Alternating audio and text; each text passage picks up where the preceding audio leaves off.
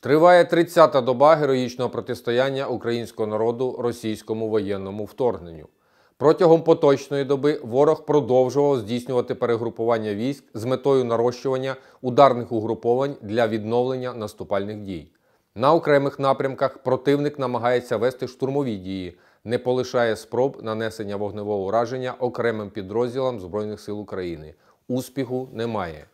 Ворог здійснює заходи щодо відновлення боєздатності, поповнення боєприпасів та паливно-мастильних матеріалів з метою забезпечення готовності наступальних дій.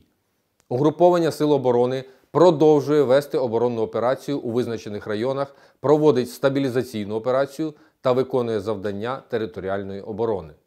Сили оборони, що беруть участь в здійсненні заходів оборони міста Києва, продовжують відбиття наступу противника, нанесення йому вогневого ураження та утримують визначені рубежі. Продовжується фіксація фактів злочинної діяльності російського військово-політичного керівництва, систематичного порушення міжнародного гуманітарного права, норм щодо гуманного ставлення під час війни. На тимчасово зайнятих територіях України окупанти продовжують терор місцевого населення, здійснюють примусове вивезення людей на територію Російської Федерації.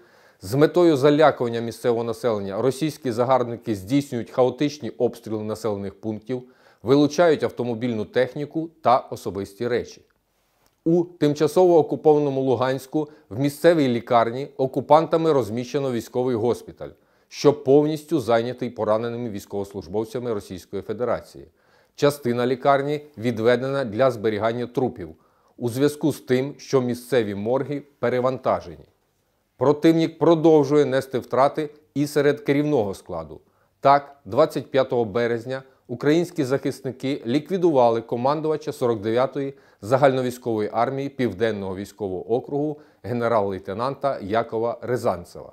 Разом переможемо! Слава Україні!